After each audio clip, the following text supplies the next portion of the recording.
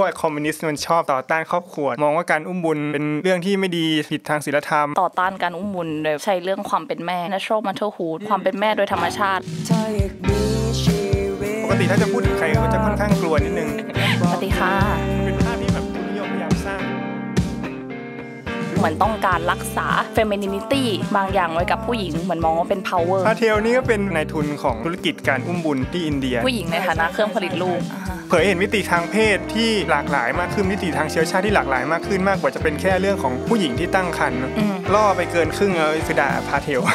ให้ทิ้งสามีของเธอแล้วก็มาอยู่กับพวกฉันสิแต่ว่าพวกฉันก็จริงๆแล้วก็คือบริษัท มันไม่ใช่เรื่องของการ surrogacy ซะทีเดียวที่มันมาทำลายความเป็นมนุษย์ความเป็นอะไรอย่างเงี้ยแต่เป็นเรื่องของ commercial surrogacy ซะมากกว่า surrogacy นี่มีมาตั้งนานแล้วป่ะใช่ในวัฒนธรรมมนุษย์มีผัวมาอยู่กับกูสิเขารู้สึกว่ามันเป็นงานแบบว่าถ้าที่ทำด้วยความกรุณาเมตตากรุณาโปรโมทความเป็นแม่ช่วยเหลือคนที่อยากมีลูกให้ได้มีลูก ผ่านการอุ้มบุญพวกนี้ผลผลิตที่เขาผลิตได้จากมดลูกอะก็เป็นทรัพย์สินกรรมสิทธิ์ของนายจ้างเป็นแลนด์ลอร์ดเออเจ้าที่ดินถ้าชนชั้นแรงงานอยากมีลูกอะไปอยู่ตรงไหน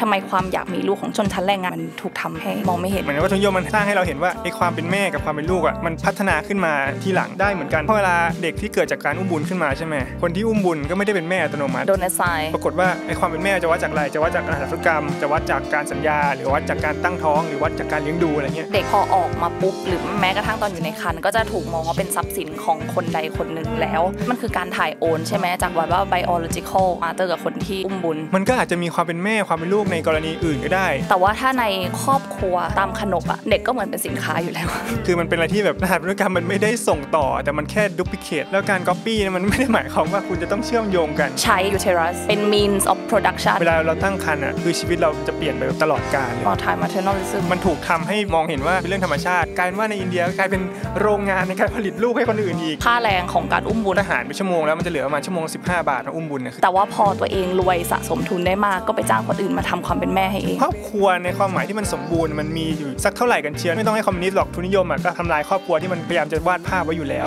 เท่จังทุนนิยมจะฉายภาพอุดมการณ์ว่า คนจนเป็นแม่ที่แย่ ใช่ คนที่อุ้มบุญก็เป็นศูนย์กลางการผลิตชีวิตหลายครั้งเราทำงาน เพื่อให้สังคมอะเราไม่ได้ทำงานเพื่อตัวเงินด้วยซ้ำถ้าเรามีเงินพออะถ้าเกิดสนใจเรื่องนี้ก็การอุ้มบุญ full surrogacy now